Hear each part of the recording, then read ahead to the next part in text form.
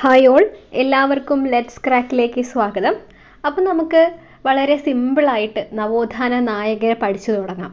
നവോത്ഥാനം എന്ന് പറയുമ്പം തന്നെ അയ്യോ കൺഫ്യൂഷൻ ആവുന്ന ഏരിയ ആണ്. പിന്നെ പഠിക്കാം പിന്നെ പഠിക്കാം എന്ന് ഓർത്ത് നീട്ടി നീട്ടി വെക്കുമായിരിക്കും ഒട്ടുമിക്ക പലരും. എന്നാൽ ചിലർക്ക് ഇൻട്രസ്റ്റ് ആയിരിക്കും. കാരണം നമ്മൾ നവോത്ഥാനം പഠിക്കുമ്പം ഇപ്പം ഫസ്റ്റ് വായിക്കുമ്പം ആ കുഴപ്പമില്ല. പിന്നെ അടുത്ത ആളായി അടുത്ത ആളായി അങ്ങനെ ഒരു കുറേ പേരാവുന്ന സമയത്ത് എല്ലാം കൂടി നമുക്ക് കൺഫ്യൂഷൻ ആവും അല്ലേ? അങ്ങനെയാണ് പലരും പറഞ്ഞിട്ടുള്ളത്. അപ്പോൾ എന്ത് ചെയ്യണം? ഒരു ദിവസം ഒരാളെ പഠിച്ചാൽ പിന്നെ അയാൾ രണ്ട് മൂന്ന് ദിവസം കഴിഞ്ഞിട്ട് ആ വ്യക്തിനെ തന്നെ ഒന്നും കൂടി നമ്മൾ നോക്കണം. അങ്ങനെ റിവൈസ് ചെയ്ത് റിവൈസ് ചെയ്ത് നോക്കിയാൽ മാത്രമേ നമുക്ക് നവോത്ഥാനം നല്ല രീതിയിൽ നമ്മുടെ മനസ്സിൽ നിൽക്കുള്ളൂ. ക്വസ്റ്റ്യൻ വരുന്ന സമയത്തായിരിക്കും നമുക്ക് ഇപ്പം പന്തി ഭോജനം എന്നൊക്കെ പറഞ്ഞ് പലരും പലതും നടത്തിയിട്ടുണ്ട് അല്ലേ? അതേപോലെ യോഗങ്ങളുണ്ട് സഭകളുണ്ട്. അപ്പോൾ അതെല്ലാം അങ്ങോട്ടും ഇങ്ങോട്ടും അതേപോലെ കൃതികൾ കൃതികൾ പറയുവാണെങ്കിൽ ഒത്തിരി ഉണ്ട് അപ്പോൾ അത്തരത്തിലുള്ളതും വർഷങ്ങളൊക്കെ നമുക്ക് കൺഫ്യൂഷൻ വരുന്ന ഒരു ഏരിയ ആണ് നവോത്ഥാനം എന്ന് പറയുന്നത്. അപ്പം ഞാൻ എന്റെ നോട്ടിൽ ചട്ടമ്പി സ്വാമികളെ കുറിച്ചിട്ട് പ്രധാനപ്പെട്ട പോയിന്റുകൾ മുമ്പ് ചോദിച്ചു വന്നിട്ടുള്ള ചോദ്യങ്ങളിൽ കണ്ടുവരുന്ന പ്രധാനപ്പെട്ട പോയിന്റുകൾ മാത്രം ഉൾപ്പെടുത്തിയിട്ടുള്ള ഒരു നോട്ടാണിത്. അതാണ് ഞാൻ നിങ്ങൾക്ക് വേണ്ടിയിട്ട് ഷെയർ ചെയ്യുന്നത്. അപ്പോൾ നമുക്ക് ചട്ടമ്പി സ്വാമികളിൽ നിന്ന് തന്നെ തുടങ്ങാം. ഓക്കെ അപ്പോൾ ഇതെന്റെ ഒരു പദസൂര്യൻ അടങ്ങിയിട്ടുള്ള ഒരു നോട്ടാണ്. എല്ലാവർക്കും യൂസ്ഫുൾ ആവുമെന്ന് വിചാരിക്കുന്നു.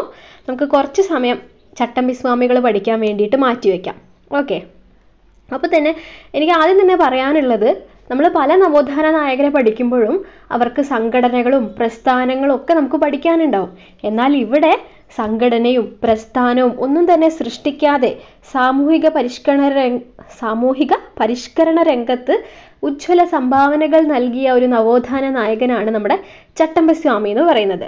അപ്പോൾ നമുക്ക് ആദ്യത്തെ പോയിന്റ് എന്ന് പറഞ്ഞാൽ അപ്പോൾ ഞാനിവിടെ കളർ പെന്നോടൊക്കെ എഴുതിയിട്ടുണ്ട്. ഇത് ഞാനൊന്ന് സ്കാൻ ചെയ്തപ്പം ഇങ്ങനെയാണ് കിട്ടിയത്. ഇതിലേതാണ് നിങ്ങൾക്ക് കൃത്യമായിട്ട് മനസ്സിലാവുക എന്ന് എനിക്കറിയില്ല. എനിക്ക് തോന്നുന്നു ഈ നോട്ട് ക്ലിയർ ആണെന്ന് തോന്നുന്നു.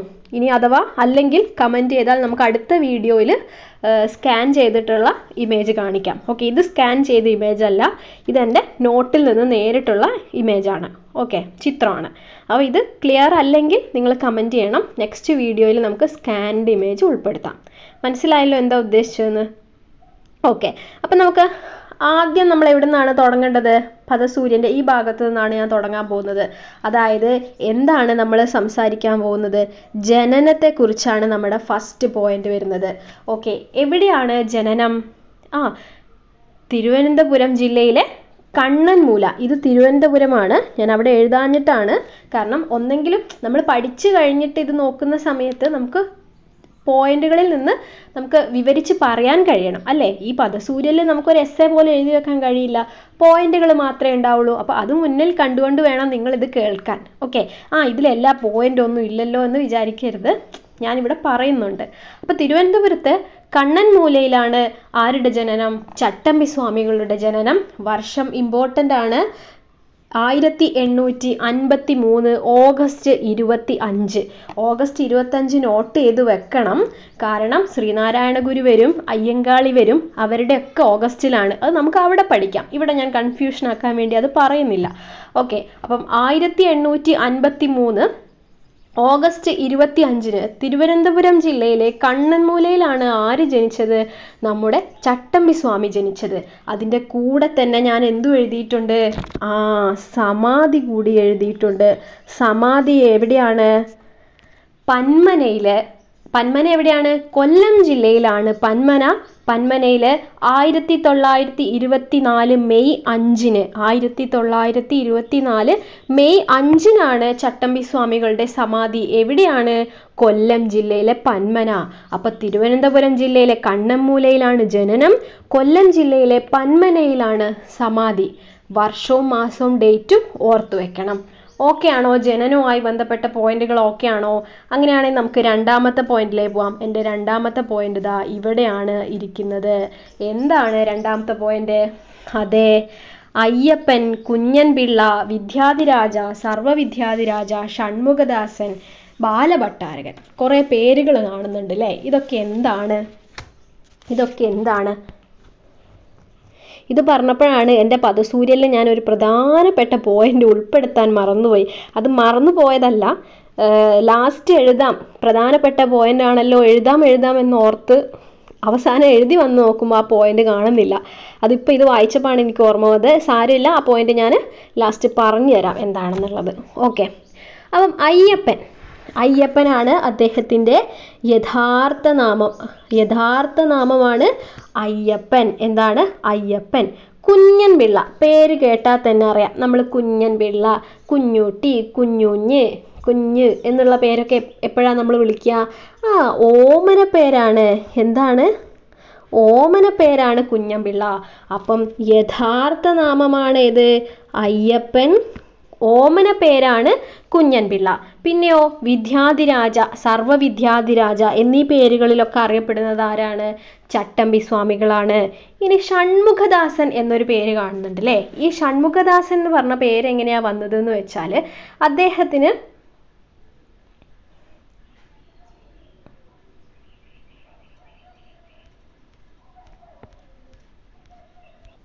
ക്ഷമിക്കണം ഒന്ന് സൗണ്ട് പോയി പോയതാണ്.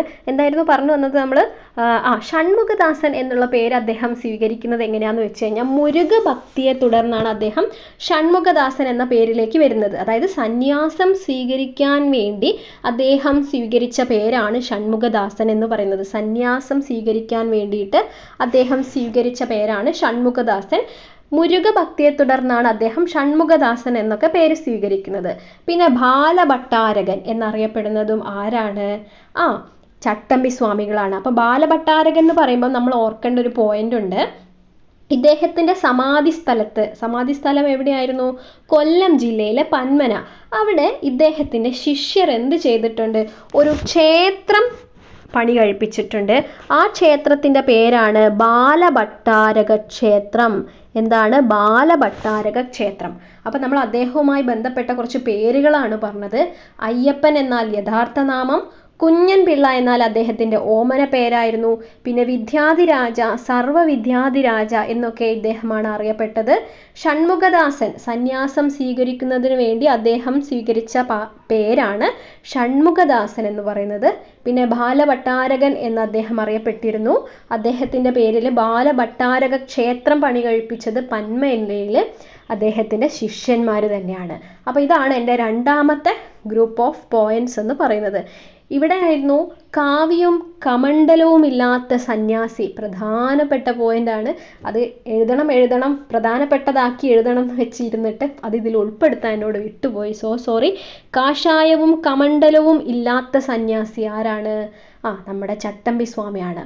അപ്പം ഇദ്ദേഹത്തെക്കുറിച്ച് പറയുവാണെങ്കിൽ ചെറുപ്പം മുതൽ തന്നെ എന്താണ് തീർത്ഥാടനവും അതേപോലെ ജ്ഞാന അന്വേഷണവും ഒക്കെ ജീവിതത്തിന്റെ ഭാഗമാക്കിയിട്ടുള്ള ഒരു വ്യക്തിയാണ് ചട്ടമ്പി സ്വാമി. ഓക്കെ അപ്പം ഇദ്ദേഹത്തിന്റെ ജ്ഞാന അന്വേഷണത്തിന്റെ ഭാഗമായിട്ട് ഇദ്ദേഹത്തിന്റെ ജീവിതത്തിൽ ഒരുപാട് ഗുരുക്കന്മാർ കടന്നു പോകുന്നുണ്ട്. ആ ഗുരുക്കന്മാരെയൊക്കെ നമുക്കൊന്ന് പരിചയപ്പെടാം. ഓക്കെ അപ്പൊ നമ്മൾ ജനനത്തെക്കുറിച്ച് പറഞ്ഞു അദ്ദേഹത്തിന്റെ പേരുകളൊക്കെ പറഞ്ഞു കഴിഞ്ഞു. രണ്ട് പോയിന്റുകളായിട്ടേ ഉള്ളൂ. ഇനി നമുക്ക് അടുത്തത് ഗുരുക്കന്മാരെ പരിചയപ്പെടാൻ പോവാം. അപ്പൊ എന്റെ മൂന്നാമത്തെ പോയിന്റ്സിൽ ആരൊക്കെയാണുള്ളത്? ആ അദ്ദേഹത്തിന്റെ ഗുരുക്കന്മാരെ കുറിച്ചാണ് പറയാനുള്ളത്. ഫസ്റ്റ് ഗുരു ആരാണ്? പേട്ടയിൽ രാമൻ പിള്ള ആശാൻ. ആരാണ്? പേട്ടയിൽ രാമൻ പിള്ള ആശാൻ. അദ്ദേഹമാണ് അദ്ദേഹത്തിന്റെ ആദ്യകാല ഗുരു എന്ന് പറയുന്നത്. അപ്പം ഈ ഗുരുവിന്റെ പാഠശാലയിൽ ഈ ചട്ടമ്പി സ്വാമി എന്ന് പറയുന്ന അയ്യപ്പൻ അയ്യപ്പനാണല്ലോ എന്ത് യഥാർത്ഥ നാമം. അപ്പൊ അയ്യപ്പൻ എന്ന് പറയാം നമുക്ക്. അയ്യപ്പൻ പഠിപ്പിലും സ്വഭാവശുദ്ധിയിലൊക്കെ മികച്ച ഒരു കുട്ടിയായിരുന്നു. പഠിപ്പിലും അതേപോലെ സ്വഭാവശുദ്ധിയിലൊക്കെ മികച്ചതായിരുന്നു അയ്യപ്പൻ. അതുകൊണ്ടാണ് അദ്ദേഹം ചട്ടമ്പി എന്നറിയപ്പെടാൻ തുടങ്ങിയത്. നിങ്ങൾ വിചാരിച്ചിട്ടില്ലേ ഇതെന്താ ഈ ചട്ടമ്പി? ചട്ടമ്പി എന്ന പേര് കേട്ടാൽ നമ്മൾ വിചാരിക്കും ഒരു തല തെറിച്ച. അല്ലെങ്കിൽ അങ്ങനെയൊക്കെയല്ലേ നമ്മൾ ചട്ടമ്പി എന്നൊക്കെ ഉദ്ദേശിക്കുക പക്ഷെ ഇവിടെ ചട്ടമ്പി എന്നുള്ളതിന്റെ അർത്ഥം വരുന്നത് എന്താണ്? ആ മോണിറ്റർ എന്നാണ് ഇവിടെ അർത്ഥം വരുന്നത്. എന്താണ്? മോണിറ്റർ. അതായത് എല്ലാത്തിനും മുകളിൽ പഠിപ്പിലും ഒക്കെ മുകളിൽ നിൽക്കുന്ന ഒരാളായതുകൊണ്ട് ചട്ടമ്പി ആയിട്ട് എന്നൊക്കെ നമ്മൾ പറയും. അപ്പം അങ്ങനെയാണ് ഇദ്ദേഹം ചട്ടമ്പി എന്ന് അറിയപ്പെടാൻ തുടങ്ങിയത്. ഓക്കെ. പേട്ടയിൽ രാമൻപിള്ള ആശാന്റെ പാഠശാലയിൽ ഇരിക്കുന്ന സമയത്ത്. ഇനി രണ്ടാമത്തതാണ് ആര്? സുബ്ബജടാ പാടികൾ സുബ്ബജടാ പാടികൾ എന്താന്ന് വെച്ചാൽ ഒരു വേദാന്ത പണ്ഡിതനാണ്. അപ്പൊ സംസ്കൃതത്തിലും വേദോപനിഷത്തുകളിലും യോഗവിദ്യയിലൊക്കെ നമ്മുടെ ചട്ടമ്പി സ്വാമി പാണ്ഡിത്യം നേടിയത് ഈ വേദാന്ത പണ്ഡിതനിൽ നിന്നാണ്. ആരാണ്? സുബ്ബജട പാടികൾ. അപ്പം സ്വാമിയുടെ മുന്നിൽ എത്തിപ്പെട്ടതാണ് സത്യം പറഞ്ഞാൽ ഈ ചട്ടമ്പി സ്വാമികളുടെ ജീവിതത്തിൽ വലിയൊരു വഴിത്തിരിവാവുന്നത്. നമ്മുടെ ജീവിതത്തിലൊക്കെ ഉണ്ടാവും അങ്ങനെ വഴിത്തിരിവായിട്ടുള്ള ഏതെങ്കിലും ടീച്ചേഴ്സ് അല്ലേ അങ്ങനെ നമ്മൾ നാളെ അതുപോലെയുള്ള ഒരു ടീച്ചറായിട്ട് മാറണം. മറ്റുള്ള കുട്ടികളുടെ ജീവിതത്തിൽ ഒരു വഴിത്തിരിവാവാൻ നമുക്ക് സാധിച്ചാൽ അതിന്റെ ഒരു നന്ദിയും ഇത് മതി നമുക്ക്. പിന്നെ അല്ലേ? ഒന്ന് ആലോചിച്ച് നോക്കിക്കേ. ആ ടീച്ചർ പറഞ്ഞിട്ടാണ് എനിക്ക് ഇന്നൊരു കഴിവുണ്ടെന്ന് ഞാൻ മനസ്സിലാക്കിയത്. ചില ടീച്ചേഴ്സ് അങ്ങനെയല്ലേ? നമ്മുടെ ഉള്ളിലെ കഴിവുകൾ നമുക്ക് അറിയാത്ത ചില കഴിവുകളൊക്കെ കണ്ടുപിടിക്കുന്ന ഇതിൽ ചില ടീച്ചേഴ്സ് മുൻകൈ എടുക്കാറുണ്ട് അല്ലേ? അന്ന് അത്തരത്തിലുള്ള ടീച്ചേഴ്സിനെ നമ്മൾ ജീവിതകാലം മുഴുവൻ ഓർത്തു വെക്കുകയും ചെയ്യും. അതേപോലെ പറയുവാണെങ്കിൽ സുബജടാവാടികളിൽ നിന്നാണ് നമ്മുടെ ചട്ടമ്പി സ്വാമി സംസ്കൃതത്തിലും വേദോപനിഷത്തുകളിലും യോഗവിദ്യയിലൊക്കെ പാണ്ഡിത്യം നേടിയിട്ടുള്ളത്. ഇതാണ് അദ്ദേഹത്തിന്റെ ജീവിതത്തിൽ ഒരു വഴിത്തിരിവാവുന്നത്. ഇനി ഈ സുബ്ബജടാവാടികളാണ് ഇദ്ദേഹത്തെ തമിഴ്നാട്ടിലേക്ക് കൊണ്ടുപോകുന്നത്. അവിടുന്ന് സന്യാസ വൃത്തിയിലേക്ക് ഒക്കെ നയിക്കുന്നത്. ഓക്കെ അപ്പം നമ്മുടെ കഥ ഇനി തമിഴ്നാട്ടിലെത്തി. അവിടെ ആരുണ്ട്? സ്വാമിനാഥ ദേശികറുണ്ട് സ്വാമിനാഥ ദേശികർ. അദ്ദേഹം ഒരു തമിഴ് പണ്ഡിതനാണ്. അങ്ങനെ നമ്മുടെ ചട്ടമ്പി സ്വാമിക്ക് തമിഴിലും വേദാന്ത ശാസ്ത്രത്തിലൊക്കെ അറിവ് അവിടെ നിന്നാണ് നേടുന്നത്. തമിഴിലും വേദാന്ത ശാസ്ത്രത്തിലൊക്കെ ഈ തമിഴ് പണ്ഡിതനിൽ നിന്നാണ് അറിവ് കിട്ടുന്നത്. സ്വാമിനാഥ ദേശികർ. ഇനി ലാസ്റ്റ് നമുക്ക് അറിയുന്ന ഒരാളാണല്ലോ തൈക്കാടയ്യ അല്ലേ?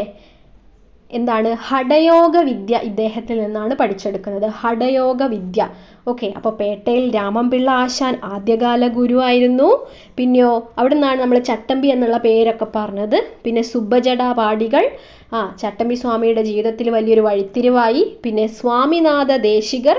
ആ തമിഴിലും വേദാന്ത ശാസ്ത്രത്തിലൊക്കെ അറിവ് നേടാൻ സഹായിച്ചു. തൈക്കാടയ്യോ ഹഠയോഗ വിദ്യ എന്താണ്? ഹഠയോഗ വിദ്യയുമായി ബന്ധപ്പെട്ടതാണ്. തൈക്കാടയ്യ.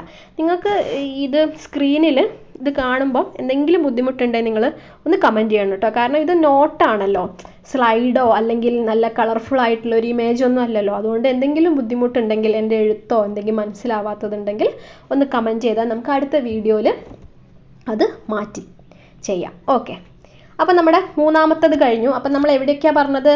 ജനനം പറഞ്ഞു. പിന്നെ എവിടേക്ക് പോയി? ആ പേരുകൾ പരിചയപ്പെട്ടു. അവിടെ കാഷായവും കമണ്ടലും ഇല്ലാത്ത സന്യാസി എന്നുള്ള പോയിന്റ് ഉണ്ടായിരുന്നു. വിട്ടുപോയതാണ്. സോറി മൂന്നാമത്തത് നമ്മൾ ഗുരുക്കന്മാരെ പരിചയപ്പെട്ടു. ഇനി വേറൊരു പോയിന്റാണ് ഇതാ വടിവീശ്വരം. എന്താണ്? ആ അതെ. നമ്മുടെ ചട്ടമ്പി സ്വാമിക്ക് ജ്ഞാനോദയം ലഭിക്കുന്നത് എവിടെ നിന്നാണെന്ന് ചോദിച്ചാൽ വടിവീശ്വരത്ത് നിന്നാണ്. അപ്പോൾ ആത്മീയ ഉന്നതി കൈവന്നത് ഈ വടിവീശ്വരത്ത് വെച്ചിട്ടാണ്. വടിവീശ്വരം എവിടെയാണെന്ന് അറിയാവോ? ആ തമിഴ്നാടിലാണ് വടിവീശ്വരം. തമിഴ്നാടിലാണ് ഈ വടിവീശ്വരം എന്ന് പറയുന്നത്. ഓക്കെ ആണോ? അതേ ഉള്ളൂ അവിടെ ഒരു പോയിന്റ് കേട്ടോ ഇനി നമുക്ക് അദ്ദേഹത്തിന്റെ സംഭാവനകൾ എന്തൊക്കെയാണെന്ന് നോക്കാം. അല്ലെങ്കിൽ അദ്ദേഹം എന്തൊക്കെ രീതിയിലാണ് പ്രശസ്തനായിട്ടുള്ളത് നോക്കാം. ഫസ്റ്റ് പോയിന്റ് ആണ് നായർ സമുദായത്തിന്റെ ഉന്നമനം. എന്താണ്? നായർ സമുദായത്തിന്റെ ഉന്നമനം എന്ന് പറയുന്നത്. അതിനു വേണ്ടിയിട്ട് അദ്ദേഹം പ്രവർത്തിച്ചു. രണ്ട് താലികെട്ട് കല്യാണം ഐത്താചരണം തിരുണ്ടി തിരണ്ടിക്കുളി. ഇതൊക്കെ നിങ്ങൾ കേട്ടിട്ടുണ്ടാവും അല്ലേ? താലികെട്ട് കല്യാണം ഐത്താചരണം തിരണ്ടിക്കുളി. ഇതിനൊക്കെ എതിരെ ഇദ്ദേഹം പ്രവർത്തിച്ചിട്ടുണ്ട്. ഇനിയോ ഇത് ബ്രാഹ്മണ എന്നാണ് കേട്ടോ ഓക്കെ ബ്രാഹ്മണ മേധാവിത്വത്തെ എതിർത്തിരുന്നു ചട്ടമ്പി സ്വാമി. ഓക്കെ ബ്രാഹ്മണ മേധാവിത്വത്തെ എതിർത്തിരുന്നു. ചട്ടമ്പി സ്വാമി പിന്നെ സിദ്ധ ഔഷധത്തിൽ പ്രസിദ്ധൻ. ഇതൊക്കെ പ്രസ്താവന ടൈപ്പിൽ വന്നാൽ നിങ്ങൾ ചിലപ്പം ക്യാൻസൽ ചെയ്യുന്ന പോയിന്റ്സ് ആയിരിക്കും ഇതൊക്കെ. നായർ സമുദായത്തിന്റെ ഉന്നമനത്തിനൊന്നും വേണ്ടി പ്രവർത്തിച്ച് കാണില്ല. പോട്ടെ. പിന്നെയോ സിദ്ധ ഔഷധ ഏ സിദ്ധ ഔഷധമൊന്നും ചട്ടമ്പി സ്വാമിയായിട്ട് ബന്ധപ്പെട്ടതായിരിക്കില്ല. അങ്ങനെയൊക്കെ കളയാൻ ചാൻസ് ഉള്ള കുറച്ച് പോയിന്റുകളാണ് ഞാൻ ഇവിടെ പറയുന്നത്. ശ്രദ്ധിക്കുക. നായർ സമുദായത്തിന്റെ ഉന്നമനത്തിന് വേണ്ടി പ്രവർത്തിച്ചു. പിന്നെയോ താലികെട്ട് കല്യാണം ഐത്താചരണം തിരണ്ടിക്കുളി എന്നിവയ്ക്കെതിരെ പ്രവർത്തിച്ചു. പിന്നെ ബ്രാഹ്മണ മേധാവിത്വത്തെ എതിർത്തിരുന്നു ചട്ടമ്പി സ്വാമികൾ. പിന്നെ സിദ്ധ ഔഷധത്തിൽ പ്രസിദ്ധനാണ് ആര്? നമ്മുടെ ചട്ടമ്പി സ്വാമി. ഇനി അദ്ദേഹം പറഞ്ഞിട്ടുള്ള ഒരു കാര്യമാണ്. ജാതി വ്യവസ്ഥയുടെ കെടുതികൾ ഇല്ലാതാക്കാൻ ക്ഷേത്രങ്ങൾ സ്ഥാപിക്കലല്ല. ക്ഷേത്രങ്ങളിൽ നിന്ന് ജാതിഭൂതങ്ങളെ അടിച്ചു പുറത്താക്കുകയാണ് വേണ്ടത് എന്ന് പറഞ്ഞത് ചട്ടമ്പി സ്വാമികളാണ്. എന്താണ്? ജാതി വ്യവസ്ഥയുടെ കെടുതികൾ ഇല്ലാതാക്കാൻ ക്ഷേത്രങ്ങൾ സ്ഥാപിക്കലല്ല ക്ഷേത്രങ്ങളിൽ നിന്ന് ജാതി ജാതിഭൂതങ്ങളെ അടിച്ചു പുറത്താക്കുകയാണ് വേണ്ടത് എന്ന് പറഞ്ഞത് ചട്ടമ്പി സ്വാമികളാണ്. ഓക്കെ? ഓക്കെ ആണോ? അപ്പം നമ്മൾ എന്തൊക്കെ പഠിച്ചു? വീണ്ടും വീണ്ടും ഞാൻ ഇങ്ങനെ പറയും. ആ ജനനം പഠിച്ചു പേരുകൾ പഠിച്ചു ഗുരുക്കന്മാരെ പരിചയപ്പെട്ടു. വടിവീശ്വരത്തെക്കുറിച്ച് പറഞ്ഞു. ഇപ്പം അദ്ദേഹം എന്തൊക്കെ രീതിയിലാണ് എന്തൊക്കെ സംഭാവനകളാണ് അല്ലെങ്കിൽ ഏതൊക്കെ മേഖലയിലായിരുന്നു ആ മുന്നിൽ നിന്നിരുന്നത് എന്നൊക്കെ നമ്മൾ പറഞ്ഞു. ഇനി ഇതാ അദ്ദേഹം പറഞ്ഞിട്ടുള്ള ഒരു പോയിന്റ് ആണ്. വിദ്യയും വിത്തവും സോറി ആ വിദ്യയും വിത്തവും ഉണ്ടെങ്കിലേ മനുഷ്യ പുരോഗതി സാധ്യമാകൂ. വിദ്യയും വിത്തവും ഉണ്ടെങ്കിലേ മനുഷ്യ പുരോഗതി സാധ്യമാകൂ എന്ന് പറഞ്ഞത് ആരാണ്? ചട്ടമ്പി സ്വാമികളാണ്. പിന്നെ പട്ടി സദ്യ നടത്തി അദ്ദേഹം. അദ്ദേഹമാണ് എന്ത് നടത്തിയത്? പട്ടി സദ്യ നിങ്ങൾ കേട്ടിട്ടുണ്ടാവും അല്ലേ? പട്ടി സദ്യ നടത്തിയത് ചട്ടമ്പി. അപ്പൊ പട്ടി ചട്ടമ്പി. അല്ലെങ്കിൽ പട്ടിക്ക് ചട്ടിയിലാണ് സദ്യക്കുള്ള സദ്യ വിളമ്പിയത് അങ്ങനെ എന്തെങ്കിലും ഓർത്ത് വെക്കുക. അപ്പം പട്ടി സദ്യ ചട്ടമ്പി സ്വാമി എന്ന് നമുക്ക് ഓർത്തിരിക്കാൻ പറ്റും. ഓക്കെ ഇനി മൃഗബലി. മൃഗബലി കേട്ടിട്ടുണ്ടാവുമല്ലോ? മൃഗബലി. എന്താണ്? സ്വാമി ഈ ചട്ടമ്പി സ്വാമിയുടെ ശ്രമഫലമായിട്ടാണ് എന്ത് നടക്കുന്നത്? തിരുവിതാംകൂർ ദേവസ്വം വകുപ്പിന്റെ ക്ഷേത്രങ്ങളിൽ മൃഗബലി നിരോധിച്ചുകൊണ്ട് നമ്മുടെ റാണി സേതു ലക്ഷ്മിബായി വിളംബരം പുറപ്പെടുവിക്കുന്നത്. അതുകൊണ്ടാണ് ഇവിടെ സേതു ലക്ഷ്മിബായി എന്ന് എഴുതിയത്. അപ്പം നമ്മുടെ ചട്ടമ്പി സ്വാമികളുടെ ശ്രമഫലമായിട്ടാണ് ഈ മൃഗബലി നിരോധിക്കപ്പെടുന്നത്. ആ നിരോധിച്ചുകൊണ്ട് വിളംബരം പുറപ്പെടുവിച്ചത് ആരാണ്? ആ മഹാറാണി സേതു ലക്ഷ്മിബായി ആണ്. കിട്ടിയോ? അപ്പം വിദ്യയും വിദ്യയും വിത്തവും ഉണ്ടെങ്കിലേ മനുഷ്യ പുരോഗതി സാധ്യമാകൂ. രണ്ടാമത്തെ പോയിന്റ് പട്ടിസദ്യ നടത്തിയത് ഇദ്ദേഹമാണ്. മൂന്നാമത്തെ പോയിന്റ് എന്താണ്? മൃഗബലി അല്ലേ നിരോധിക്കാൻ വേണ്ടിയിട്ട് മുന്നിൽ നിന്നത് ആരാണ്? ചട്ടമ്പി സ്വാമിയാണ് അപ്പോൾ ഇത്രയും പോയിന്റുകൾ നമ്മൾ പഠിച്ചു കഴിഞ്ഞു. ഇനി ഇനി അടുത്ത പോയിന്റുകളിലേക്ക് പോവാം. ഈ ഭാഗം കുറച്ച് ക്ലാരിറ്റി കുറവായിരിക്കും. എന്തായാലും ഇത് ഞാൻ മറ്റേത് കാണിക്കണോ? എല്ലാം കണക്ക് തന്നെയാണ്. എന്നാലും സാരമില്ല. നമുക്ക് പോയിന്റുകൾ വായിക്കാം അല്ലേ? ആയിരത്തി എണ്ണൂറ്റി തൊണ്ണൂറ്റി രണ്ടിലാണ് ഇദ്ദേഹം സ്വാമി വിവേകാനന്ദനെ കണ്ടുമുട്ടുന്നത്. സ്വാമി വിവേകാനന്ദനെ കണ്ടുമുട്ടുന്നത് വർഷമാണ് ആയിരത്തി എണ്ണൂറ്റി തൊണ്ണൂറ്റി രണ്ട് ഓക്കെ അപ്പോൾ സ്വാമി വിവേകാനന്ദൻ അഭിപ്രായപ്പെട്ടത് എന്താണ്? മലബാറിൽ ഞാനൊരു യഥാർത്ഥ മനുഷ്യനെ കണ്ടു എന്നാണ് സ്വാമി വിവേകാനന്ദൻ പറഞ്ഞത്. മലബാറിൽ ഞാനൊരു യഥാർത്ഥ മനുഷ്യനെ കണ്ടു എന്നാണ് ചട്ടമ്പി സ്വാമികളെ കണ്ടപ്പോൾ സ്വാമി വിവേകാനന്ദൻ പറയുന്നത്. ഇനി ചട്ടമ്പി സ്വാമി എന്താ പറഞ്ഞത്? സ്വാമി വിവേകാനന്ദൻ ഒരു ഗരുഡനാണെങ്കിൽ ഞാൻ ഒരു കൊതുകാണ് എന്ന് പറഞ്ഞത് ആരാണ്? ചട്ടമ്പി സ്വാമിയാണ് സ്വാമി വിവേകാനന്ദൻ പറഞ്ഞു മലബാറിൽ ഞാനൊരു യഥാർത്ഥ മനുഷ്യനെ കണ്ടു എന്ന്. അപ്പൊ ചട്ടമ്പി സ്വാമികൾ പറയുവാണ് സ്വാമി വിവേകാനന്ദൻ ഗരുഡനാണെങ്കിൽ ഞാൻ ഒരു കൊതുകാണ് എന്നാണ് അദ്ദേഹം പറഞ്ഞത്. ഇനി ചട്ടമ്പി സ്വാമിയാണ് സ്വാമി വിവേകാനന്ദനെ ചിന്മുദ്രയെ പറ്റി പഠിപ്പിച്ചു കൊടുക്കുന്നത് വിവരിച്ചു കൊടുക്കുന്നത്. ചട്ടമ്പി സ്വാമികളാണ് ചിന്മുദ്രയെ പറ്റി സ്വാമി വിവേകാനന്ദന് വിവരിച്ചു കൊടുക്കുന്നത്. ഓക്കെ അത്രയേ ഉള്ളൂ ആ പോയിന്റ് ഇനി നമ്മുടെ ലാസ്റ്റ് പോയിന്റിലെത്തി ഇപ്പൊ സന്തോഷമായോ രണ്ടായിരത്തി പതിനാല് ഏപ്രിൽ മുപ്പതിനാണ് അദ്ദേഹത്തിന്റെ സ്റ്റാമ്പ് പുറത്തു വരുന്നത്. രണ്ടായിരത്തി പതിനാല് ഏപ്രിൽ മുപ്പത്. ഓക്കെ അപ്പോൾ ഇത്രയും പോയിന്റുകളാണ് നമ്മൾ പഠിച്ചത്. ജനനം പേരുകൾ പറഞ്ഞു ഗുരുക്കന്മാരെ പരിചയപ്പെട്ടു വടിവീശ്വരത്തിന്റെ പ്രത്യേകത പറഞ്ഞു. അദ്ദേഹം ഏതൊക്കെ രീതിയിലാണ് മുന്നിട്ട് നിന്നത്? പ്രധാനപ്പെട്ട പോയിന്റുകൾ. പിന്നെയോ സ്വാമി വിവേകാനന്ദനെ കണ്ടുമുട്ടി ലാസ്റ്റ് സ്റ്റാമ്പും നമ്മൾ പറഞ്ഞു കഴിഞ്ഞു. ഇനി ഇതാ ഇവിടെ ഞാൻ എന്ത് എഴുതിയിട്ടുണ്ട്? നമ്മുടെ കൃതികൾ എഴുതിയിട്ടുണ്ട്. അത് ഇവിടെ എന്റെ നോട്ടിൽ നിങ്ങൾക്ക് കാണാൻ കഴിയും. കൃതികളാണ് ഇത്. ഓക്കെ ബോക്സിലൊക്കെ ഇട്ട് വെച്ചിട്ടുണ്ട് കൃതികൾ ഇവിടെ സൈഡിൽ കാണാലോ ഞാൻ ഇതിലുള്ള നോട്ടിലുള്ള എന്നെ ഒന്ന് വായിക്കാൻ ശ്രമിക്കാം. നിങ്ങൾക്ക് കാണാൻ പറ്റുന്നുണ്ടോ നോക്കാം. ഓക്കെ അപ്പോൾ പ്രധാനപ്പെട്ട കൃതികളാണ് പറയാൻ പോകുന്നത്. വേദാധികാര നിരൂപണം. എന്താണ്? വേദാധികാര നിരൂപണമാണ് ഫസ്റ്റ് വൺ അതിന്റെ പ്രത്യേകത എന്താ? ആ വേദങ്ങൾ എന്ന് പറയുന്നത് ബ്രാഹ്മണരുടെ മാത്രം കുത്തകയല്ല എന്ന് പറയുന്ന കൃതിയാണ് ഇത്. വേദാധികാര നിരൂപണം. വേദങ്ങൾ എന്ന് പറയുന്നത് ബ്രാഹ്മണരുടെ മാത്രം കുത്തകയല്ല എന്ന് പറയുന്നത് വേദാധികാര നിരൂപണം. ഇനി പ്രാചീന മലയാളമുണ്ട്. പിന്നെ മോക്ഷപ്രദീപ ഖണ്ഡനം അത് നിങ്ങൾ കേട്ടിട്ടുണ്ടാവുമല്ലോ. ബ്രഹ്മാനന്ദ ശിവയോഗിക്ക് ഒരു മോക്ഷപ്രദീപമുണ്ട്. ബ്രഹ്മാനന്ദ ശിവയോഗിയാണ് മോക്ഷപ്രദീപം എഴുതിയത്. അതിനുള്ള മറുപടി ആയിട്ടാണ് ചട്ടമ്പി സ്വാമികൾ എന്ത് എഴുതുന്നത്? മോക്ഷപ്രദീപ ഖണ്ഡനം എഴുതുന്നത്. ഓക്കെ മോക്ഷപ്രദീപ ഖണ്ഡനം ഇനി ആദിഭാഷ അടുത്തത് അദ്വൈത ചിന്താ പദ്ധതി ജീവകാരുണ്യ നിരൂപണം ക്രിസ്തുമത ചേതനം ഈ ക്രിസ്തുമതചേതനം ഏറ്റുമാനൂർ ക്ഷേത്രത്തിൽ ആറാട്ട് ദിവസം പ്രസിദ്ധീകരിച്ച കൃതിയാണ് ക്രിസ്തുമതചേതനം എന്ന് പറയുന്നത്. ഓക്കെ. പിന്നെ നിജാനന്ദ വിലാസം സർവമത സാരസ്യം അദ്വൈത പഞ്ചരം തർക്കരഹസ്യം. ഇതിൽ പ്രധാനപ്പെട്ടതാണ് ഏതൊക്കെ? ആ വേദാധികാര നിരൂപണം പിന്നെ മോക്ഷപ്രദീപ ഖണ്ഡനം ആദിഭാഷ അദ്വൈത ചിന്താ പദ്ധതി പിന്നെയോ പ്രാചീന മലയാളം ഇമ്പോർട്ടന്റ് ആട്ടോ. വിട്ടുപോയതാണ്. പ്രാചീന മലയാളം അതേപോലെ നിജാനന്ദ വിലാസം ക്രിസ്തുമത ചേതനം